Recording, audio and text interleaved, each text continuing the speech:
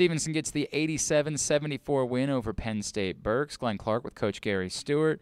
Coach, uh, another nice win, but I know you, and I'm sure that you are sort of fixated on what happened there in the second half as what had been as much as a 26 point game ended up being a really close one in the end. It was an abomination. We didn't do anything uh, uh, that we set out to do. And, and credit Penn State Berks. They kept uh, uh playing and, and um, executing, and, and uh, that's what happens. If you um, we didn't have energy, uh, we weren't connected defensively, we didn't defend with purpose, and, and um, consequently, um, it's a two possession game.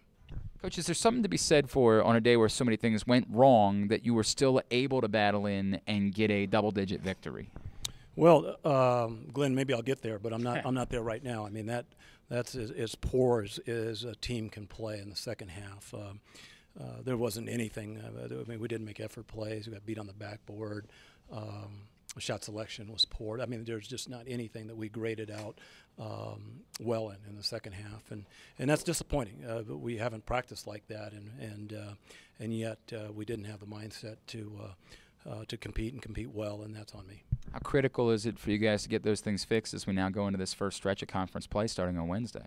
Well, th- there's no question that we can't play um, like that in conference and expect success. So, um, we've got to we've got to address some things. Um, we've we got to play better. I mean, there's no question about that. Um, uh, again, um, I, am really really disappointed in in uh, uh the uh, the the way we played.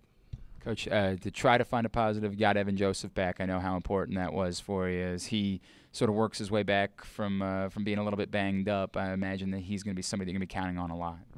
Yeah, he is. He is, and it's, it's great to have him back. Uh, he's very important to what we're trying to do, and, and once he gets his legs underneath him, um, that gives us um, added depth and, and, and, a guy that uh, um, can do a lot of different things for us, and we, and we need him. Coach, I know you're not thrilled with the effort, but congratulations on the win, and best of luck as you head on the road for the first time this week. Thank you, Glenn. It's Coach Gary Stewart. I'm Glenn Clark for GoMustangSports.com.